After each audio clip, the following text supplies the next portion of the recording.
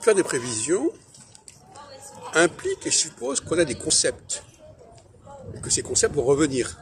On peut faire prévision s'il n'y a pas une récurrence des concepts. Or, dans le cas d'André Barbeau, est-ce que le concept de déconstruction d'un ensemble a été formulé?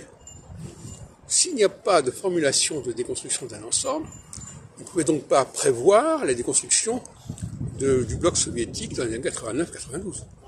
Donc sa prévision ne pouvait pas concerner cela. N'est donc pas pertinente.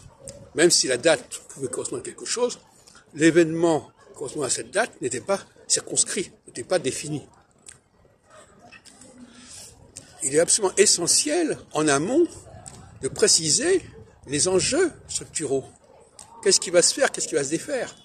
Par exemple, en 1956, on a commencé à défaire euh, l'empire euh, colonial français avec l'indépendance euh, maghrébine.